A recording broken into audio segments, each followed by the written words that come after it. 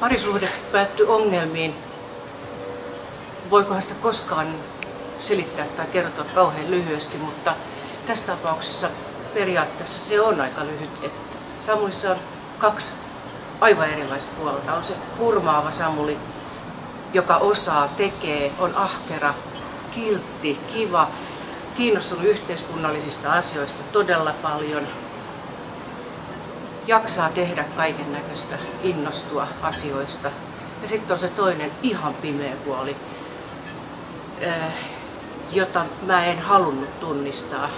Eh, se alkoi vajaa vuosi sitten syksyllä, ennen, just ennen joulua. Ja mä en, mä en uskonut ensin sitä todeksi. Mä, mulla meni puoli vuotta, että vaikka mulle virkavallan taholtakin sanottiin, että se on nyt tässä. Sun pitää nyt vaan tunnistaa tosiasiat.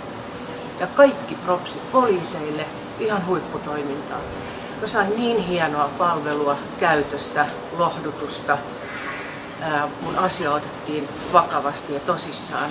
Ja nyt sitten ollaan tässä pisteessä, että mä näen valtaosin ja eniten sitä Samulin ihanaa ja hurmaavaa puolta. Hän ei ole kotona koskaan silloin, kun, tai ei ollut kotona, me ollaan erottu. Ei ollut koskaan kotona silloin, kun se pimeä puoli, no joo, kävi aina silloin, että kyllä sen näin, sen pimeän puolen. Ja siihen se sitten loppui.